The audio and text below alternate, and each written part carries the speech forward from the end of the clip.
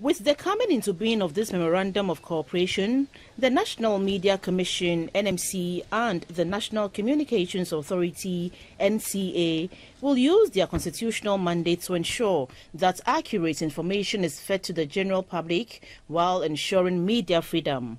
The NMC deals primarily with media content and the NCA grants radio frequencies and television licenses to media organizations upon application.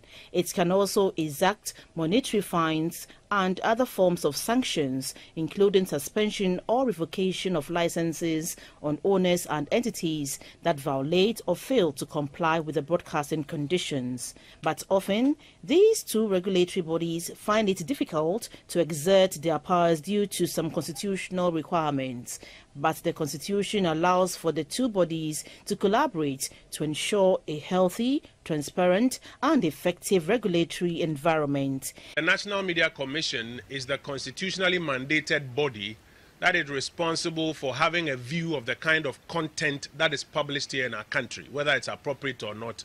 It falls within the bosom of the National Media Commission to make that determination and even make some recommendations.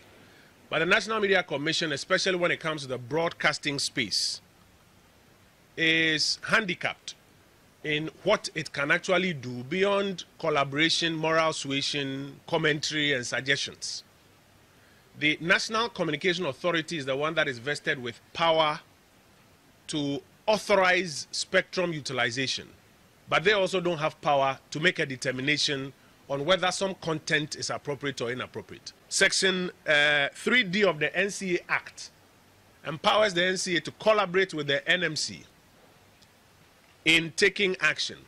And Section 10 of the NMC Act empowers the NMC to bring on board other actors, actors other than NMC officials, to collaborate in uh, terms of their work.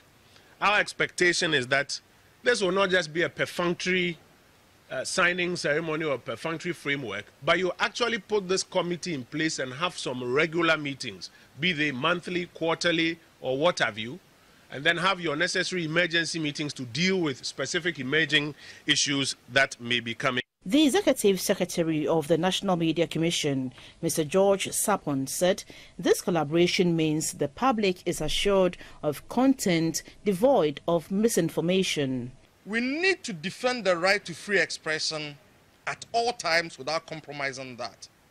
But we also need to safeguard the safety of the society by protecting consumers and ensuring decency on the airwaves. The memorandum of cooperation that we are going to sign sets a formal beginning to that element of the cooperation that involves all of us.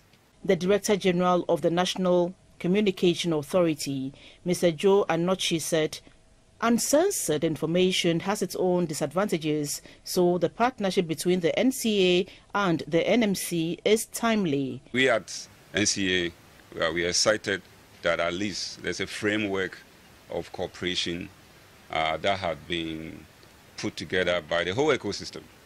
Um, there's a lot that we have done on our part uh, to prepare even this day.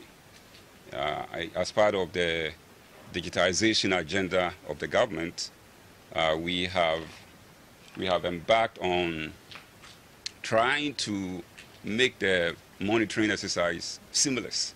The chairman of the National Media Commission, Mr. Yaw Boadu-Ayeboafo, entreated the media to be guided by the ethics of the profession in their quest to inform, educate, and entertain the public.